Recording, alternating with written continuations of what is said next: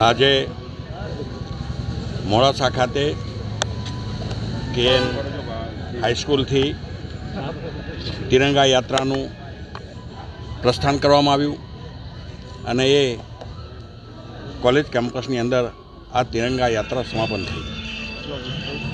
આજે સૌ પ્રથમ તો જ્યારે આપણે ઓગણીસો સુડતાલીસમાં આઝાદી મળી અને આપણા તિરંગાનું સર્જન થયું ત્યારે આજે આ તબક્કે હું તિરંગા યાત્રાને તિરંગાને ખૂબ ખૂબ નમન કરું છું અને સલામ કરું છું. આપણા આપણા આજે આ વર્ષે આઝાદીના પંચોતેર વર્ષ પૂરા થયા છે. ત્યારે સમગ્ર દેશ આપણે આઝાદીનો આ અમૃત મહોત્સવ ઉજવી રહ્યો છે.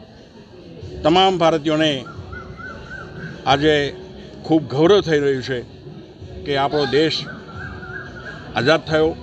આઝાદીમાં આપણા ઘણા બધા મહાપુરુષોએ પોતાનું બલિદાન આપ્યું છે અને એમના બલિદાનના કારણે આજે આપણને આ લોકશાહી મળી. લોકશાહીનો ફળ આપણે આજે ચાખી રહ્યા છીએ.